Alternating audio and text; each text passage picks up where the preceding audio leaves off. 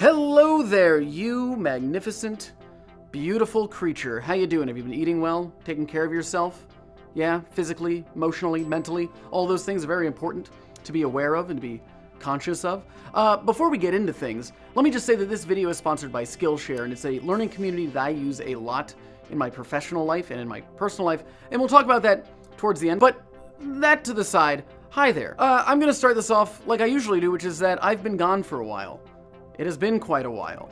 Uh, and again, I do apologize. I apologize every single time. I'm going to make a video more in depth about this feeling that I have that I'm sure is not unique to me, and that is imposter syndrome. And the next vlog, which will hopefully come out a few days after this one, will be all about that, because that's what I've been dealing with, but that is neither here nor there. We'll get into that again later. What I want to do today is something that I tweeted about, oh, in June, I think, which was uh, I was going to do a Q&A questions and answers. And I didn't do it.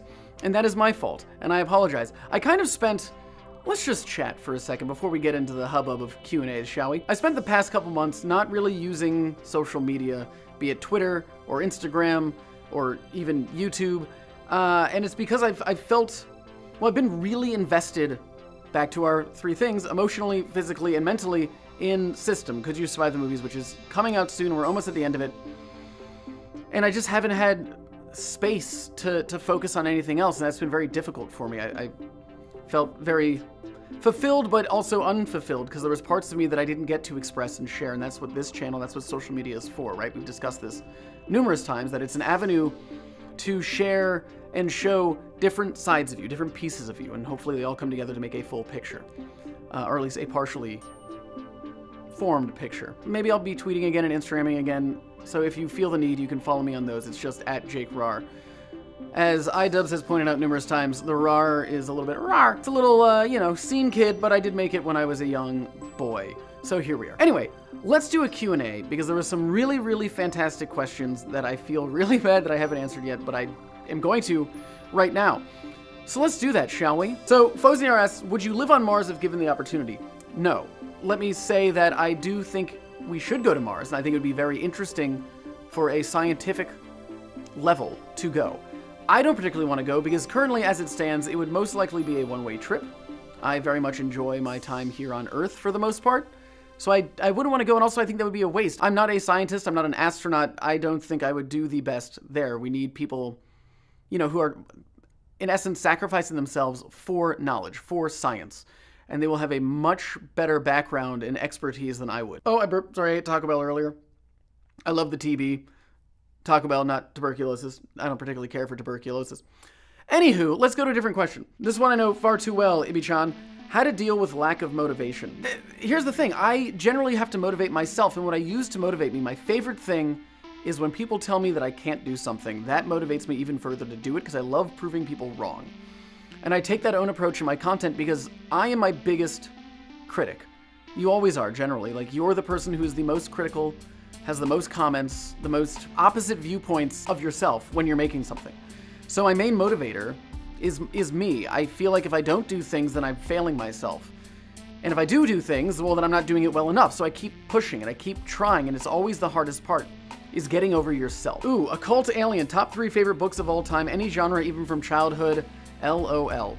Uh, so I have a weird selection. One would be American Psycho. I think it's a wonderful book because the, the amount of description that Bret Easton Ellis goes into is just so amazing. Like it just goes on forever, just discussing like the entree that's in front of our lead character. And I love that. There's obviously all the violence too, but I think it's I think it's funny. I think it's wonderful to have this juxtaposition of brutal violence with observing the mundane. One that I love a lot is uh, Gulp by Mary Roach. It's a science book about digestion and food. That book is one of my favorite science books ever because Mary makes things so interesting and so fun and so quirky, and she does such a great job, and you learn so much, but you also laugh. And I really love that. A third book, oh boy, howdy. I'm just gonna throw in a graphic novel. Swamp Thing is one of my favorites, and The Run by Alan Moore, when he did it, is one of my favorite comics ever the way it deals with humanity and what it means to be human and what it means to have a self, I think is just so beautiful and the art is gorgeous and it, it feels like it feels like a work of art. Ooh, sweater stripes. What have you wanted to learn most but haven't had the time? I want to learn the most languages and I want to learn most instruments. That's something if I had time, one day when I retire, which will be never, but let's just imagine that I do, I want to just start taking music lessons. I want to learn cello. I want to get better at piano. By better, I mean better than what I learned when I was like between the ages of 8 and 9 and 10. Whoa, hey, hey, I'm a Beethoven. That to me is, is interesting.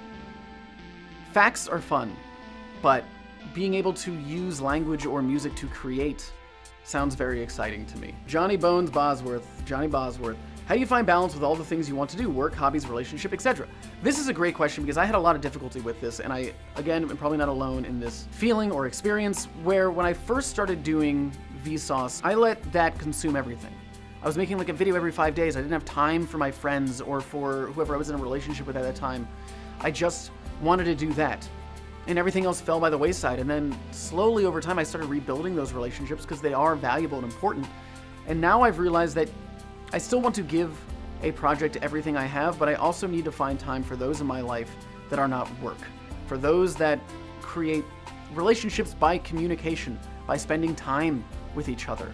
And that's something that I'm, I'm slowly, but surely getting better at. So, how do you find time? I'm a strong believer that there is always time for things that are important for you or important to you, should I say. I take on a lot of work, I take on a lot of responsibilities because they are important to me, and I know that mentally I can figure out how I can compartmentalize everything and organize it so I can still spend time with my family, with my friends, with my girlfriend, but also still focus on work and do that to the best of my ability. Okay, Dreadful Gnome.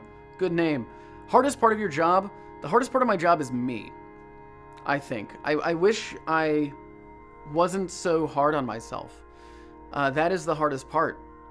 Because, you know, I think you get to a point where when you're making things for an audience, and if you're lucky enough to have an audience, it's hard to to do it not because there's people expecting you to make things, because generally, like even when I'm like, hey, I'm not gonna make something for a while, the audience, you, I was like, oh, take your time. But I feel like I shouldn't. I feel like I need to make things all the time, and if I don't, then I'm a failure, and I'm failing everybody, and I'm garbage.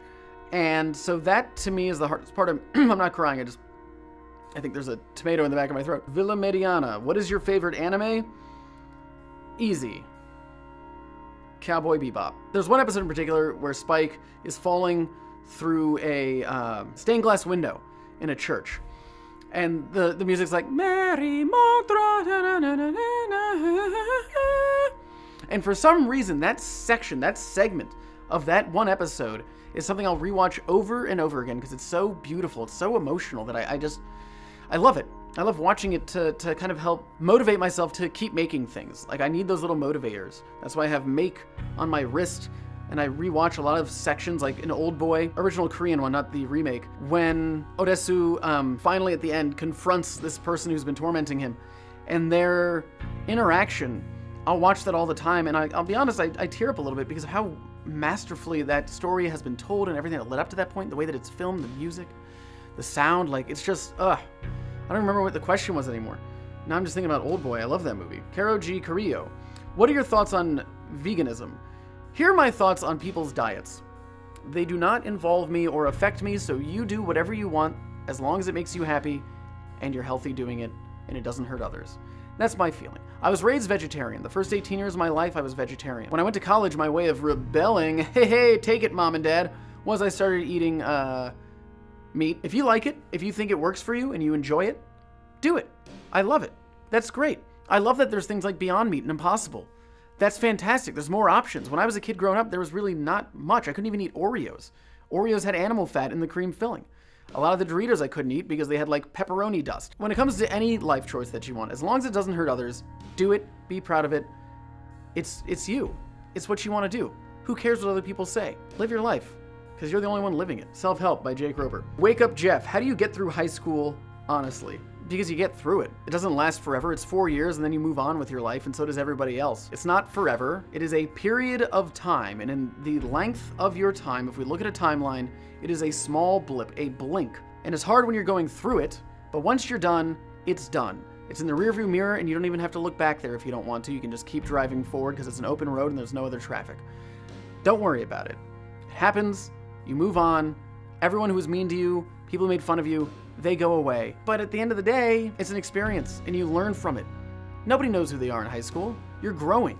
You're changing. I would look at kids that were in college like, ah, they got it figured out. They don't. When I was like 16, like, oh, my parents got it figured out. They didn't. They acted like they did, but they didn't. They had questions and concerns, and am I doing this right? And when you're in high school, you don't know what's going on either. Nobody does. So you keep growing, you keep moving forward, you keep learning, and you keep hoping that everything's going to figure itself out. And if not, you're just going to keep doing it until you get there.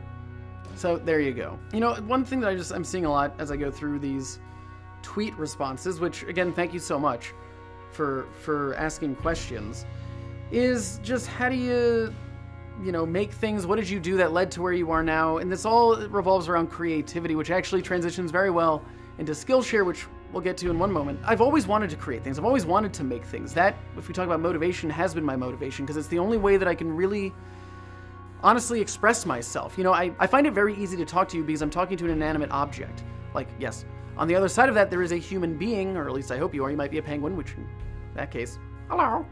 I guess that's me pinching a penguin's cheek. Anyway, and I find it the same way when I'm trying to do a Vsauce 3 video. I can express who I am, what I think, what I like, how I want to be thought of and remembered through through cameras. And it's not just being in front of them. I went to school for directing. Well, actually I didn't. I went to school for cinematography because I wanted to be able to tell stories with light, with lenses, with the way that the camera moves through a scene, the way that the character moves with it. That to me was this beautiful ballet, and I, I loved that. That makes me feel whole. It's therapeutic. And with that, and this is where we get into the Skillshare, the branded part of the episode. And truth be told, I, I do use Skillshare. I've had an account for, I don't know, two, three years now. I love Skillshare because I don't know everything. I mean, that's what a lot of us use YouTube for, is like learning things for tutorials, for just learning information from videos like Vsauce, things like that. And Skillshare is a really great place to learn. I've talked about it before in videos. I've done like the audio mixing thing, so my audio will sound better in videos. Uh, I've done color grading, so I actually can make the videos look the way that I want them to. And one that I'm actually doing now is DIY cinematography. That one is, I, I think, a great course because it tells you how to make a lot with a little. And that's what YouTube creation is. I mean, right now the setup is camera here, microphone here, there's one light there, one light back there. This camera happens to be very nice, and these lights are relatively nice. But before this, if you go to my very first Vsauce 3 videos, it was like a Canon DSLR and whatever lights I could find. I mean, one thing we use a lot for lighting are these work lights. These things are great. You can get them for like super cheap at Lowe's or whatever home improvement store you have. And you can use them, put like a little bit of diffusion over them, you know, and just make it look softer, however you want. So anyway, this DIY cinematography course is really, really interesting.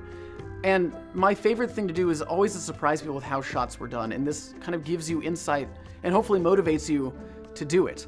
So if you want, you can go to the link at the top of the description to get two months of premium free, and a whole premium subscription in general is less than $10 a month. And I really do think Skillshare is incredible. It's a great learning tool for me to help make the things that I make better. So definitely check it out if you want. Thank you, Skillshare, for sponsoring this episode and for being the first contributor of the Brands Help Jake Pay for His Mortgage. We really appreciate having you. Uh, Skillshare down there, I love you. I'm going to start uh, posting on things more because I think that is important. It's a great way for me to get what's in here out there. And uh, yeah, that's all I got for you. But I have one more thing. Remember, it's not goodbye. Oh no, it's never goodbye. It's